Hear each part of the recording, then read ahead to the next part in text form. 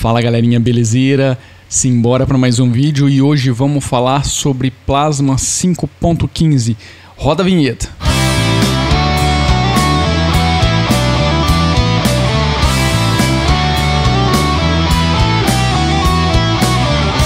Mas antes de eu começar esse vídeo, deixa eu falar rapidão do nosso projeto musical Overtry Music. Se você ainda não conhece, o link estará aqui na descrição, tá? Para você entrar no nosso canal no YouTube ou para você entrar no nosso site. É, todas as músicas que rolam aqui nesse canal são do projeto Overtry Music.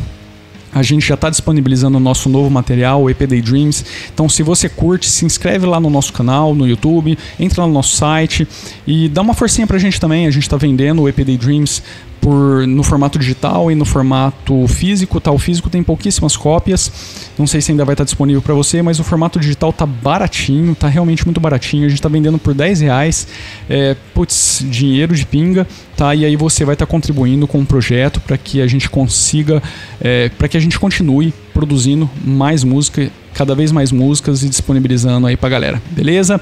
O projeto está sendo disponibilizado uma música por mês, então a gente vai ter novidade pelo menos tá desse projeto até julho desse ano e a gente já está gravando coisa nova que vai continuar sendo publicada aí nos próximos anos, beleza? Simbora pro vídeo então. Fala pessoas dessa terra que só tá esquentando.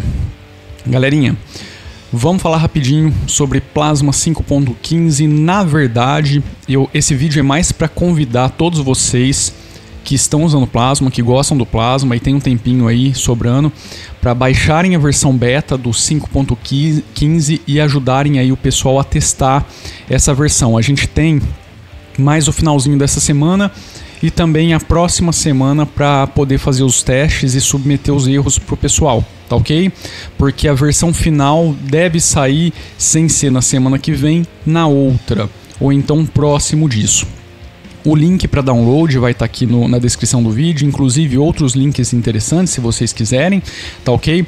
Esse vídeo não está sincronizado com o que eu estou falando, ou seja, eu já gravei o, o que vocês vão visualizar aí na tela grande, mas é, eu quero fazer só alguns comentários de algumas melhorias que foram implementadas nessa versão que estão ainda é, talvez passando por alguns aprimoramentos, tá? Pode ser que alguns bugs ainda sejam apresentados para vocês, mas enfim, a gente tem uma melhoria bacana aí nos widgets, nos Plasma Widgets. A gente teve vários aprimoramentos, inclusive se você tem dispositivo Bluetooth Agora, é, o status da bateria vai ser mostrado aí no widget de bateria né, e de luminosidade. Eu mostro para vocês no vídeo que está rodando aí na parte de fundo. Você também tem um aprimoramento na descrição dos ícones do desktop. E você também, se tiver aqueles wallpapers muito claros que dificultam um pouco a leitura de ícone, isso também foi aprimorado nessa versão do Plasma 5.15. A gente também tem é, melhorias para deficientes visuais, tá? Nessa questão de leitura dos ícones. Agora você conta aí com um leitor para esse tipo de, de situação. A gente também tem várias outras melhorias no que diz respeito a downloads de plugins para wallpapers Uh, a gente também tem é, o widget de nota que recebeu melhoria, agora ele pode ser utilizado com transparência. A gente também tem melhoria aí no widget de desktops virtuais, que é aquele widget que fica ali na barra principal, facilitando você mudar de um desktop para o outro. A gente também teve melhorias no sistema de notificações, aqueles pop-ups de notificações, no Keyrunner e no Device Notifier. Eu não vou falar especificamente sobre todos eles, porque senão esse vídeo vai ficar muito grande. O meu objetivo não é ficar demonstrando todo, todo tudo que os caras apresentaram. Para isso eu vou deixar um vídeo aqui na descrição de um canal muito bacana e esse cara fez um vídeo muito show sobre todos esses, todos não, a grande maioria desses novos features que foram apresentados na versão 5.15, né, na, no post de lançamento, na verdade no post de convite para que as pessoas testassem essa versão do Plasma. Então, novamente, estou convidando vocês para fazerem esse teste e ajudarem o pessoal. A gente também teve muitas melhorias no System Settings, né, no sistema de configuração. A gente teve uma repaginação praticamente geral da, do configurador de desktops virtuais, além dessa sessão também ter recebido suporte agora ao Wayland, ou seja, se você estiver utilizando o Wayland, é possível manipular isso daí também ali. Uh, as configurações de relógio digital e de visualização de pasta também receberam melhorias. Várias páginas de configuração do System Settings foram aprimoradas para se alinharem com padrão de ícone, com padrão de dizeres, com padrão de botões. Você consegue perceber isso com mais facilidade, com mais facilidade ali na parte direita inferior, tá? Aqueles ícones ali, você, é, acho que é uma forma bem simples de você ver que os caras estão com uma preocupação muito grande em deixar as coisas bem padronizadas. Eu acho isso muito bacana porque facilita, principalmente para um usuário usuário que está entrando no, nesse tipo de desktop. A gente também tem é, os novos efeitos de desktop que forem instalados tá, pela loja. Eles agora aparecem na página de configuração de efeitos de desktop. Facilita muito para a pessoa que quiser manipular aquilo. Além dessa seção também ter sido portada para o Qt Quick Control 2 e isso acabou resolvendo um monte de pequenos probleminhas, tá? Então essa área ficou Show. E a gente também teve melhorias em outras páginas, como a de resolução de vídeo e também a de é, tela de login, tá ok? Não vou novamente ficar falando sobre tudo que, que os caras fizeram, porque senão esse vídeo vai ficar muito grande. O objetivo não é esse, o objetivo é comentar as as principais melhorias que estão chegando na versão 5.15, depois que ela vier, for lançada, eu pretendo fazer mais um diário de bordo, falando um pouquinho é, de como que isso está rodando aqui no meu ambiente, mas não é o objetivo agora. O objetivo agora é baixa a ISO, testa e ajuda os caras a encontrarem os bugs, tá? aprimorar antes da data de lançamento, que será sem ser na semana que vem, na outra, beleza? Pelo menos é o que se espera. A gente também tem nessa versão a implementação do XDG Portal, tá? Isso possibilita que os aplicativos eles possam utilizar é, algumas ferramentas do Plasma que não são nativas desses aplicativos, tá? Mas que eles possam utilizar algumas ferramentas do Plasma para é, ficarem visualmente é, mais em harmonia com o, o desktop. Por exemplo, é o, a opção de salvar as coisas no Firefox. Tá? O Firefox eles utilizaram como exemplo, é bem bacana é, de falar sobre isso. Quando você vai fazer isso, no utilizando Plasma, vocês vão ver que a telinha, né, o pop-up ali de.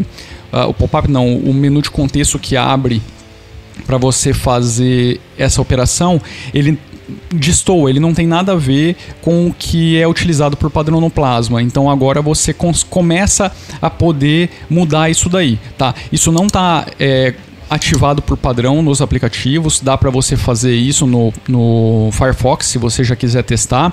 Inclusive eu vou deixar em um dos links aqui embaixo dá para você ver o procedimento de fazer isso, é bem simplesinho. Você vai precisar instalar dois pacotinhos bem pequenininhos e depois vai precisar fazer uma modificação no arquivinho .desktop do Firefox. Tá, isso daí possivelmente vale para vários outros aplicativos. Eu acho que uma das coisas mais bacanas agora é aplicativos Flatpaks e Snaps poderem obedecer agora as configurações de ícone, tema, widget e fonte do seu desktop justamente por conta dessa tecnologia que está sendo disponibilizada. Além disso, a gente também tem aprimoramento aí nos aplicativos Gnome GTK que passam a respeitar a escala em monitores que são High DPI tá? que utilizam aquelas grandes resoluções, tá ok? E também a gente teve vários outros probleminhas que foram resolvidos, principalmente com o tema GTK. Tá? Muitos aprimoramentos foram feitos ali nessa questão. O Discover também recebeu bastante melhoria. O seu widget de notificação agora mostrará quando existir um upgrade de distro é, disponível. Por exemplo, se você tiver no Kubuntu 1804 e chegar no Kubuntu 20.04, então vai aparecer ali. Só que é claro, o Kubuntu 18.04 não está rodando Plasma 5.15, ele está rodando 5.12. Estou falando que esse tipo de recurso agora está disponível, está a partir do Plasma 5.15. Uh, você também tem ali agora a possibilidade de marcar e desmarcar todas as atualizações para ficar mais fácil. O Discover Settings que fica, que fica ali do lado esquerdo, na barrinha do lado esquerdo, foi renomeado para Sources, faz mais sentido porque é a configuração de canais de software, aquela parte ali. Uh, inclusive, a configuração de canal de software foi aprimorada também para facilitar aí a manipulação dos repositórios.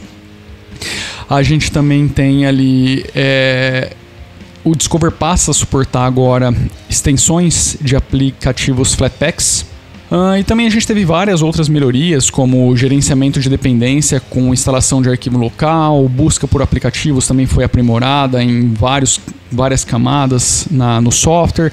A gente também teve preferências é, locais sendo mantidas, tá? ou seja, um aprimoramento nessa questão, e também uma melhor organização visual de algumas coisas. Então, bem bacana, o Discover recebeu bastante melhorias aí também.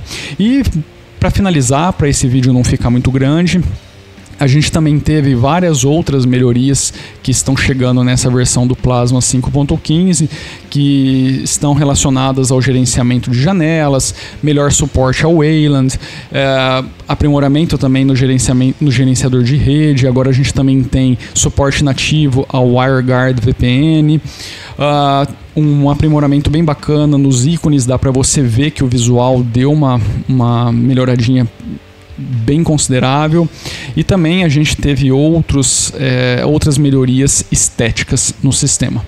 Enfim, o Plasma 5.15 está saindo do forno, o pessoal está convidando você a testar, a baixar, a testar, submeter os bugs que você encontrar para que essa versão chegue o mais polida possível para todos os usuários. Então, se você curte o que os caras estão fazendo, é, tem um interesse grande em ajudar o projeto, essa é a sua oportunidade, tá ok? Aproveita e vai conhecer nosso projeto musical, Vartroy Music. Se você procurar no YouTube por Vartroy, você vai encontrar os dois canais. Se inscreve lá também. Tá acontecendo muita coisa bacana, muita novidade tá, tá chegando lá. A gente começou a disponibilizar o EP Day Dreams por lá também, uma musiquinha por mês. É, se você curte também o que a gente faz por lá, dá uma forcinha pra gente, adquire a versão digital do EP Day Dreams ou a versão física, se ainda tiver alguma cópia, tá? E é isso. Nos vemos no próximo vídeo. Um grande abraço e fui! for green.